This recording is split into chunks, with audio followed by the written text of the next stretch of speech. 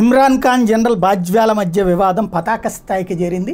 ఓ పక్కన బాజ్వా తాజాగా ముగ్గురు వ్యక్తుల పేర్లు సైన్యంలో ఉన్నటువంటి ముగ్గురు వ్యక్తుల పేర్లని ఇమ్రాన్కి పంపించారు. ఐఎస్ఐకి పనికొస్తారు అన్నటువంటిది. బట్ వాళ్ళు పనికిరారని ఇమ్రాన్ ఖాన్ టీం తేల్చి చెప్పింది. ఇక్కడ ఐఎస్ఐని తన చెప్పు చేతల్లో పెట్టుకోవాలని ఒక పక్కన బాజ్వా మరొక పక్కన ఇమ్రాన్.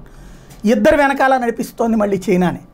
చైనాకి చేరువు కావడానికి ఇటు ఇమ్రాను ఇటు బాజ్వా చేస్తున్నటువంటి ఎత్తుగడల మధ్యన నలుగుతున్నటువంటిది పాకిస్తాన్కి సంబంధించినటువంటి ఐఎస్ఐ విభాగం.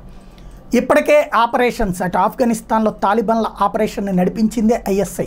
హక్కానీలని తయారు చేసింది కానీ తాలిబన్లని కాపాడుతూ వచ్చింది కానీ దాదాపుగా పద్దెనిమిది రకాలైనటువంటి ఉగ్రవాద సంస్థలు పుట్టించి పేర్లు పెట్టించి వాళ్ళకి వివిధ దేశాల్లో బ్యాంకుల అకౌంట్లు తీయించి వాళ్ళకి నిధులు వచ్చేలా చేసి జ మొత్తం కథంతా నడిపిస్తోంది ఐఎస్ఐ. ఇప్పుడు ఆ ఐఎస్ఐ మీద ఆధిపత్యం ఎవరి చేతిలో ఉంటే వాళ్ళ మాట చైనా వింటుంది కాబట్టి ఈ ఇద్దరు ఒకళ్ళకొకళ్ళు కొట్టుకు వస్తున్నటువంటి నేపథ్యంలో రాబోయే రోజుల్లో ఏం జరుగుతుందో చూడాలా.